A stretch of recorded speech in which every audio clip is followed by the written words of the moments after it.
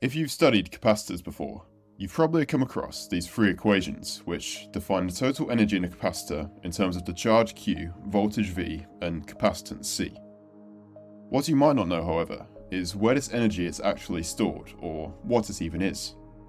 You might assume that the energy just lies in the capacitor plates, as that's where the charge builds up. But this doesn't actually make any sense because if we give two conductors the same amount of charge, then change their shape, the energy stored in the system would be completely different. It turns out that this energy is not stored in the plates at all. Instead, it lies in the space between them in the electric field. It's this nuance that might not seem that important to you at first, but actually provides us with a much deeper, real understanding of how electrical energy exists not only in capacitors, but all of nature. In this video, we're going to unpack all of this. First of all, we're going to go through the most basic principle of electrical energy, which is that it's just charges moving through voltages.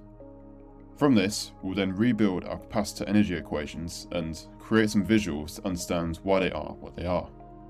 After this, we'll figure out how to express the energy of a capacitor in terms of the electric field, and once we do that, you'll see why all static electrical energy exists like this in nature. By the end, you won't just know where the energy is stored in a capacitor, but see why it couldn't be anywhere else. So let's start with something that sounds obvious, but is fundamental to everything we're going to speak about. That is, the only way energy ever enters or leaves a capacitor is by moving charge through a voltage. This is the key to all discussions about electrical energy, and we'll now use it to understand our capacitor. Let's consider our capacitor in a basic series circuit and look closely at what happens when we charge or discharge it. After attaching it to a battery, charge is being moved through a voltage onto the plates. When the battery is being discharged, the charge moves back through a voltage from one plate to another. But what is the voltage the charge moves through? After all, as we discussed in the last video, the charge in the plates and the voltage across them vary during the charging and discharging processes. So instead, let's think about each little increment of charge separately. Let's look at the discharging process, as it's a bit simpler to think about.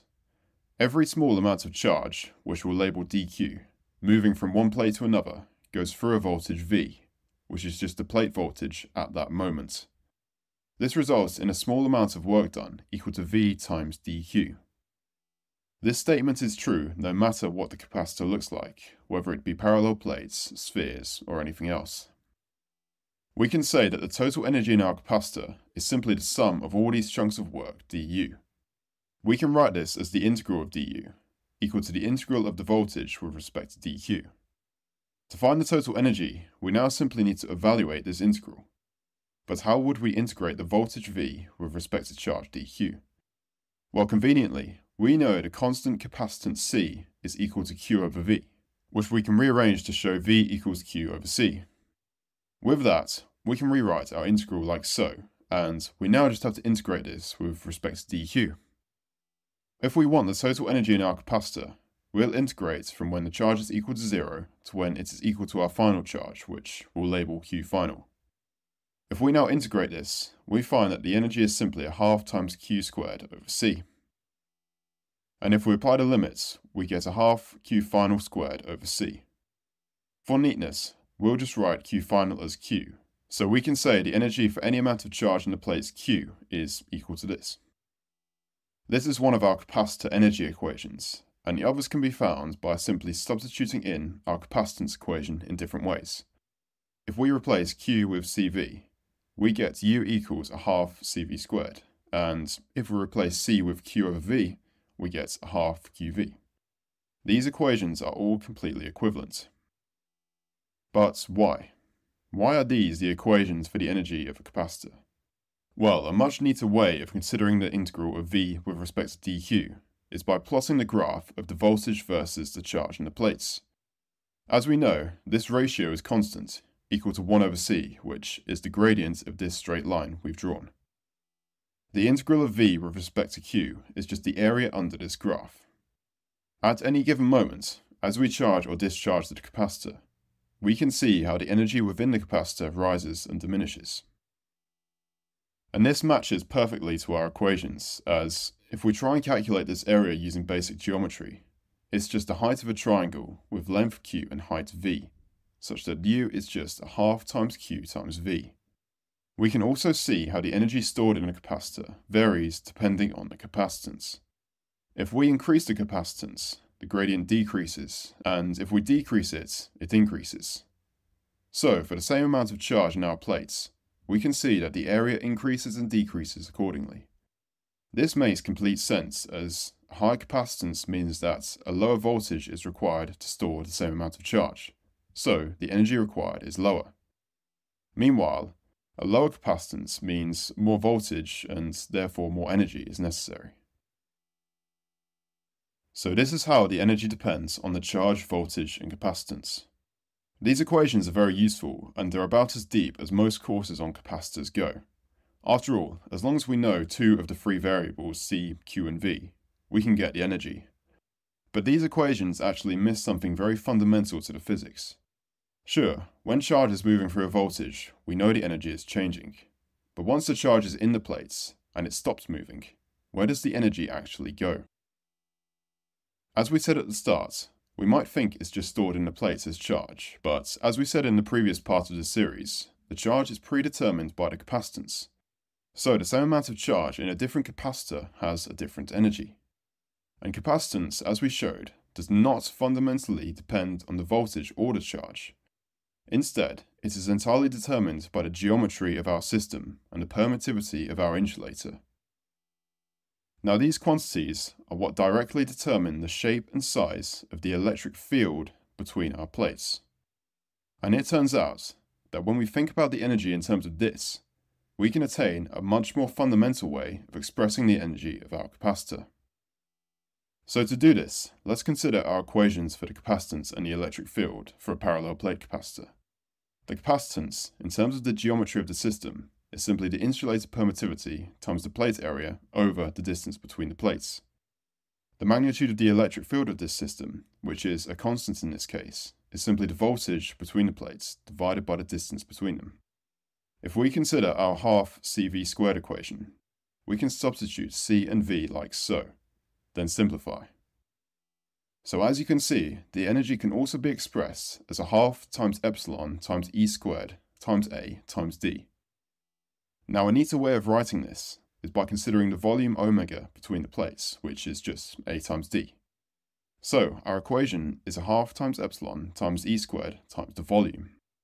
What do you see here is one of the most fundamental, powerful equations in all of physics. Why?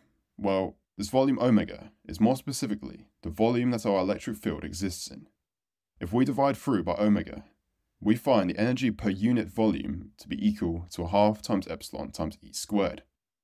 This equation is the energy density of our field. It tells us how much energy an electric field has at any point in space.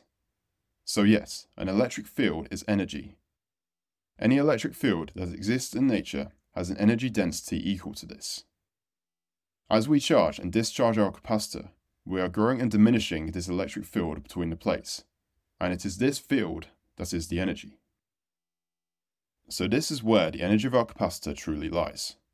Now you might be a bit skeptical of this, as we just used the equations for a plate capacitor which aren't generalized.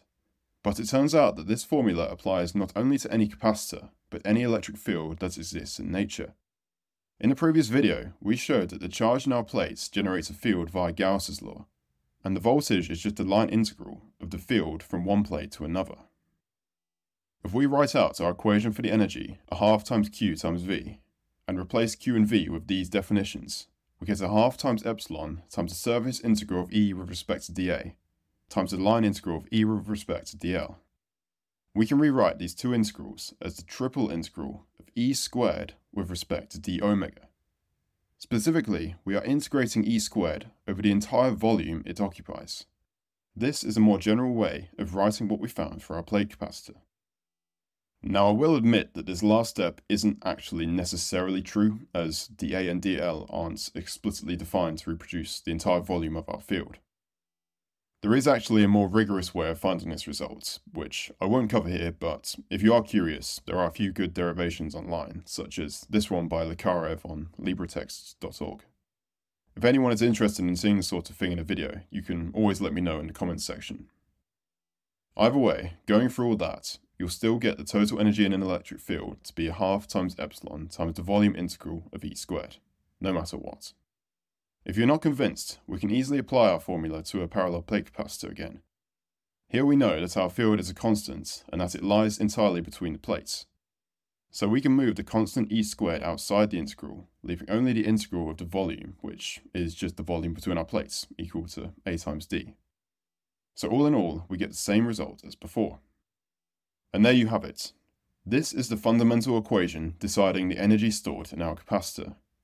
As our plates are charging and discharging, our field is being built and diminished as energy is being transferred to and from our capacitor. This tells us where our energy actually is. Now in practice, as the field is often complex to calculate, we usually just use our basic QVC equations to calculate the energy in capacitors. However, Unlike these equations, our latter formula applies to any electric field in nature, and more precisely, any electrostatic system in nature. Any time charges are not on the move, this is the energy of our system. And with that, I hope you now understand more about what the energy of a capacitor really is. But there is still more to say about capacitors. In the last video, we spoke about what really determines capacitance, and in this video we figured out how that relates to energy but we haven't yet spoken about how long it takes to charge and discharge our capacitor. We also haven't worked out how the current varies during all of this, nor seen how capacitors work in real complex circuits. In the next part of this series, we will explore all these questions by introducing resistor capacitor circuits, or RC circuits for short. By the way, if you enjoyed this video and like testing your physics knowledge, you're welcome to check out the Decipher Physics app, which is completely free and has over 100 questions for you to work through. Thanks for watching.